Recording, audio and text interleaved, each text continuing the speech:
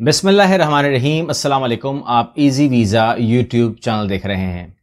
आप लोगों के सवालात जब मैंने चेक किए तो बहुत सारे आए थे रिगार्डिंग वर्क परमिट के, मगर वो आपने स्पेसिफिक बात की है ओपन वर्क परमिट के। आपने कहा कि जब मार्केट में चीज़ अवेलेबल है ओपन वर्क परमिट जिसके अंदर कोई कंडीशन रखी भी नहीं है, कोई पाबंदी भी नहीं है, कोई डिग्री भी नहीं मांग रहे इवन कि लिमिया भी नहीं मांग रहे आईएमपी के अंदर बात भी नहीं हो रही तो फिर आप उसके अंदर हमें क्यों नहीं भेज देते? आप हमें जो है क्यों फंसाते हैं आप जब आप पूरी जहमत करवाते हैं? जो हमारे पास प्रोग्राम है कैनेडा रेड प्लस का, उसकी बात करते हैं कि आप हमारे प्लेटफॉर्म पे आ जाएँ, उस प्लेटफॉर्म के अंदर हम एक प्रोफ़ाइल क्रिएट करेंगे प्रोफ़ाइल क्रिएट करके फिर हम जॉब अप्लाई करेंगे और तमाम चीज़ें करेंगे और आपको भी तैयारी करनी चाहिए, यानी कि अपने आप को स्ट्रॉन्ग करना चाहिए और तमाम मामला के अंदर हम आपसे बात करते हैं कि आपने भी कोई पार्ट अदा करना है, यानी कि अपने आप को इस काबिल बनाना है कि आपको भी कैनेडा में जॉब हो।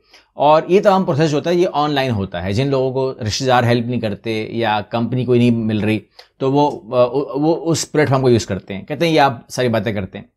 तो कहने का मतलब ये है कि ऐसे कमेंट्स भी तो आई जाते हैं ना कि भाई ऑनलाइन कहाँ होता है? तो अभी वो टाइम आ गया है दुनिया में कि ऑनलाइन के अलावा कुछ नहीं हुआ करेगा। यानी कि आज अगर आप खाना खाते हैं ना तो पहले आप होटल जाके तो आप अपने खाना खिलाते थे।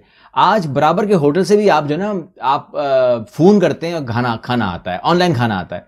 तो ये और वो कोई चार्ज भी नहीं करता आपसे, चाहे वो फ़ूड पांडा हो, कोई भी हो। ये सब ऑनलाइन हो रहा है तो यानी कि हमारी ज़िंदगी में ये चीज़ इस तरह आ गई है। तो हम तो बात कर रहे हैं कनाडा के वीज़े की, जिसके अंदर अगर आपका विज़िट वीज़ा भी लेंगे तो ऑनलाइन है। यानी कि ऑप्शन छोड़े नहीं उसने। तो आपको अपने आप को, अपने जो ख्याल हैं उनको बदल कर एडजस्ट होना ही पड़ेगा। ये कसूर उनका नहीं रह जाएगा, आपका रह जाएगा अगर आप ऑनलाइन से भागेंगे तो। तो अगर कोई और रास्ता है तो उसको अपना सकते हैं, वो गलत नहीं है। अगर कोई रिश्तेदार हेल्प कर रहा है, कोई दोस्त हेल्प कर रहा है तो ठीक है, मगर अदरवाइज़ फिर क्या करेंगे आप लोग? अगर ये नहीं करेंगे तो। अब आपको, मैं दिखाऊँगा सारा, जो आप सवाल कर रहे हैं ओपन वर्क परमिट का ये किस चीज़ को मिलता है। मिलता तो है, बिल्कुल मिलता है, क्यों नहीं मिलता? लेकिन हम, मैं इसके ऊपर पाँच साल पहले भी बात कर चुका हूँ। मैं इसके ऊपर दस साल पहले भी बात कर चुका हूँ। हमने कई बार इस पर बात की है तो यानी कि पहली बार तो है नहीं। इसलिए हम करते ही नहीं, शायद हम सब सबने देख लिया। अगर नए सब्सक्राइबर आ जाते हैं तो कहते हैं, जी, आपने तो बात की नहीं इसके ऊपर। तो हम बात करने जा रहे हैं। वो ये है कि बिल्कुल ये मिलता है, और मैं आपको स्क्रीन पर दिखाऊँगा ओपन वर्क परमिट और मैं आपको पूरी ए टू जी बल्कि हम काम करते हैं, हम इसको समझ लेते हैं स्क्रीन के ऊपर ही, ताकि ये चीज़ ख़त्म हो जाए कि ये चीज़ है भी कि नहीं, आप हम खा जबानी बोल रहे हैं। ये आप स्क्रीन पे देख रहे हैं, ये कैनेडा डॉट सी ए है। कैनेडा डॉट सी के अंदर मैं हमेशा रेफरेंस आपको देता हूँ। आपको चाहे इमिग्रेशन रेफ्यूजी सिटीजनशिप कैनेडा की बात करनी हो कॉपोरेट इन्फॉर्मेशन चाहिए हो, या कोई भी गाइडलाइन चाहिए हो, आपको यहाँ से मिल सकती है। आपने सवाल किया है, मैंने बताना है आपको open work permit general processing and issuance international mobility program ये आपको करना है पूरा। अब अगर तफसील में जाएँगे, तफसील बहुत बड़ी है, मैं तफसील में जा नहीं पाऊँगा, जबानी बात करूँगा। लेकिन यहाँ आप देख रहे हैं कि condition and validity period of work permit भी दिया हुआ है open work permit LMIA exemption भी दी हुई हैं कैटेगरीज भी दी हुई हैं। ये पढ़ना बहुत ज़रूरी है, ये मैं कह रहा हूँ आपको पढ़ना बहुत ज़रूरी है, और ये पूरा जो ऊपर देख रहे हो, ये है इसका लिंक और कैनेडा डॉट सी भी लिखोगे तो मिल जाएगा, यहाँ पर अपना सर्च ये ऑप्शन है ना सर्च का, यहाँ पर लिखोगे ओपन वर्क परमिट तो ये खुल जाएगा, ठीक है? मुश्किल नहीं है, यहीं से खुल जाएगा आपका। अब आप आज ये नोट है नो, रिसेशन कहते हैं although there are no recession on open work permit concerning the employer name the foreign national मतलब जब तमाम डिटेल है और आपने ऑन दिस पेज जो आपको मिलेगा, वो पूरी डिटेल ये मिलेगी। आप भी पढ़ेंगे। Type of open work permit two types होते हैं। ये वाला ये वाला होता है। इसके अलावा आपने जो work permit issuance in global case management system करना है जी सी एम एस करना है। तो वहाँ पे ज़ाहिर सी बात है कि सुबह का पता नहीं है डेस्टिनेशन का पता नहीं है एक्सेप्शन कोड लगे हुए हैं। और आपको जो नॉक कोड होता है इसके अंदर, वो होता है डबल नाइन डबल नाइन ठीक है? फोर टाइम नाइन इसका नॉक कोड है। अगर आप इसके अंदर जा रहे हो तो कभी ये गलती मत कर देना। कभी भी किसी भी जॉब के अंदर ये गलती मत करना और एक गलती और हुई है, उसको भी सुन लीजिए आप लोग ताकि वो गलती ना हो। मेरे पास तकरीबन तीन रिक्वेस्ट आई हैं। रिक्वेस्ट कह लीजिए कंप्लेन कह लीजिए या कुछ भी कह लीजिए या केस कह लीजिए। वो ये हैं कि उन्होंने हमारे कैनेडा रेड प्लस में रहकर उन्होंने जो है अप्लाई किया और उनको कॉल्स आई कंपनी की तरफ़ से। ईमेल नहीं ईमेल की बात नहीं कर रहा हूँ ईमेल चलती रहती है। कॉल आई, ना व्हाट्सएप की बात भी नहीं कर रहा हूँ कॉल डायरेक्ट फ़ोन किया उनके मोबाइल पे और उन्होंने नहीं उठाया। तीनों केस के अंदर नहीं हुआ। बाकी जो उन्होंने उठाया उठाया। जिन तीन ने तीन नहीं उठाया। ये तकरीबन एक हफ़्ते के अंदर तीन वाकत हुए। कहने का मतलब ये है कि फिर अब हमारा कसूर इसमें क्या अकाउंट करेंगे आप? क्योंकि हमने आपको पहले बताया हुआ है, जो लोग रजिस्टर्ड हैं, कि उन लोगों ने अपने इंटरव्यू खुद करने हैं। कुछ इंटरव्यू से टाइम फिक्स होंगे। आपको बता दिया जाएगा कि जी, आपका इंटरव्यू पंद्रह तारीख को है, बीस को है, पाँच बजे है, छह बजे। कुछ कॉल करते हैं। वो कहते हैं जी आपने अप्लाई किया था आपसे सवाल करना है बात करनी है आपसे। वो इंटरव्यू तो नहीं हो रहा ना। वो तो जो भी वहाँ पर ऑफिसर बैठा हुआ है वो ठक ठक आपसे बात कर रहा है कि ये सीवी में आगे भेजू कि नहीं भेजू? ठीक है ना? यानी कि वो छांटी कर रहा है। छांटी करते हुए थोड़ी उसने वो कोई को, कोई सिलेक्ट कर लिया है। उसने सीधा आपको फ़ोन किया कि भाईजान ये आपने इसमें लिखा हुआ नहीं है ये। ये तो बताइए आपकी वाइफ को बताइए ये बताइए अपनी इसका बताइए ये बताइए। जो भी उससे सवाल करना था ताकि मैं वो कमेंट रिमार्क्स लिखूँ और आगे भेजू सीवी आपने फ़ोन ही नहीं उठाया। अब इसमें हमारा कसूर क्या काउंट करेंगे? क्योंकि वो सीवी क्या करेंगे वो उसका? अब किसी और कंपनी में कंसिडर होगी। लेकिन आपने चांस ज़ाया कर दिया। तो कहने का मतलब ये है कि कसूर तो आप लोग हमारी गर्दानेंगे इसके अंदर आप कसूर है। फ़ोन जिसने नहीं उठाया, उसका कसूर भी तो है। तो फ़ोन आपने उठाना है और अब इसमें एक प्रॉब्लम आपने देखनी है, वो ये कि दिन और रात का फ़र्क है।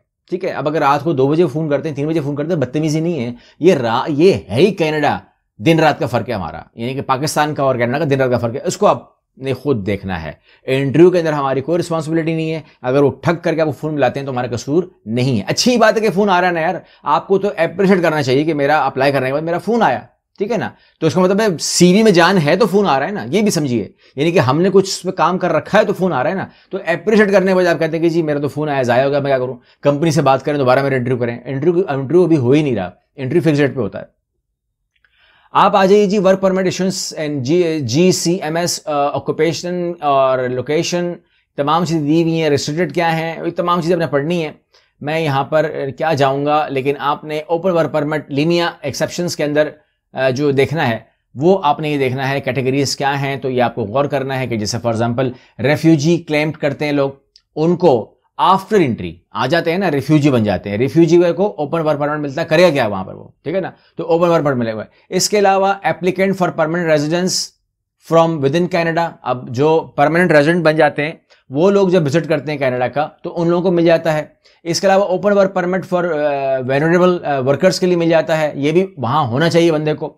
ह्यूमेटेरियन रीजन किसी भी हमदर्दी की बुनियाद पर भी दे देते हैं उसको, लेकिन इस बंदे को वहाँ होना चाहिए। कहते जी, मुझे मजबूरी दे दें work permit work permit youth program participants वो नौजवान जो यूथ प्रोग्राम्स के अंदर आते हैं, जो डिफरेंट प्रोग्राम है, आपके इल्म है, इस वीडियो में हम मजीद भी उसमें देंगे प्रोग्राम वो बंदा चाहे अपने मुल्क में बैठा हुआ हो, चाहे वो ऑन एंट्री हो, चाहे वो आफ्टर एंट्री हो तो उसको मिल सकता है ओपन वर्क परमिट वो काम कर सकता है, उसे किसी कंपनी का नाम देने की ज़रूरत नहीं है। इंटरनेशनल एक्सपीरियंस कैनेडा किसी के पास है तो वो अपने मुल्क से ही ओपन वर्क परमिट अप्लाई कर सकता है। Family members foreign representative and family members personals who are LMIA exempt यानी कि इसके अंदर आप प्लस कर लीजिए इस बात को भी कि जो लोग जिनकी फैमिलीज़ वहाँ पर रह रही है, काम कर रही है, उनके स्पाउस को अगर मियाँ है तो बीवी, अगर बीवी है तो मियाँ, अगर बाप है तो बेटा, बेटी एज वाइज पाबंदियों को दिमाग में रखिएगा तो उन लोगों को भी ओपन वर्क परमिट मिल जाता है, यानी कि ओपन वर्क परमिट मिल जाएगा। इसके अलावा spouse of common law partners और skill worker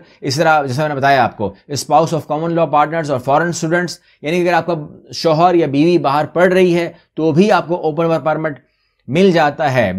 bridging open work permit आपने कंपनी छोड़ दी, ठीक है ना? कंपनी छोड़ रहे हैं, छोड़ दिए छोड़वाई दी गई, या वहाँ पर प्रॉब्लम हो रही है तो आप स्विच कर रहे हो किसी और जॉब में, पता नहीं कब मिलेगी, यहाँ पर लीगल कैसे रहोगे? तो ब्रिजिंग वीज़ा मिल जाएगा। ब्रिजिंग समझते हो ना? उसको खिला को पुर करने के लिए। Open work permit pilot program for permanent residence applicant in the spouse और कॉमन लॉ पार्टनर्स ये भी सीक्वेंस वही है। कि आपने एप्लीकेशन डाली हुई है, उसके ऊपर आप जा रहे हो। पोस्ट ग्रेजुएशन वर्क परमिट यानी कि वो स्टूडेंट्स जो पोस्ट ग्रेजुएट में जा रहे हैं ग्रेजुएट कर चुके हैं, उनको भी ओपन परमिट मिल जाता है और ऐसे स्टूडेंट्स को भी मिल जाता है जो अपने खर्चे बर्दाश्त नहीं कर सकते और डिक्लेयर कर देते हैं कि जी, मुझे पैसे आना बंद हो गए, मैं आगे पढ़ना चाह रहा हूँ, मुझे काम करने दिया जाए ताकि मैं अपने खर्चे उठा सकूँ।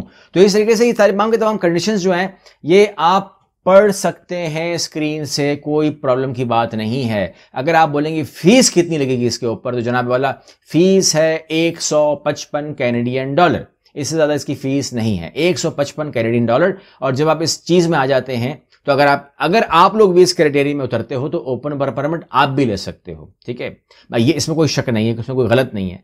तो मैं उम्मीद करता हूँ कि ओपन वर्क परमिट में अगर आप ये पेज खोल लेते हैं या कैनेडा डॉट सी खोल लेते हैं ओपन वर्क परमिट लिख देते हैं तो आपको ये डिटेल डिटेल मिल जाएगी।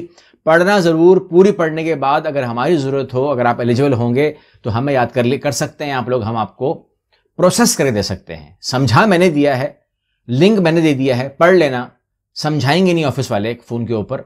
तो उनको कह देना कि जी, मैं एलिजिबल हूँ इस इस कैटेगरी के अंदर। मेरा केस प्रोसीड कर दें, कर दिया जाएगा। अगले वीडियो मिलते हैं। अल्लाह हाफिज़।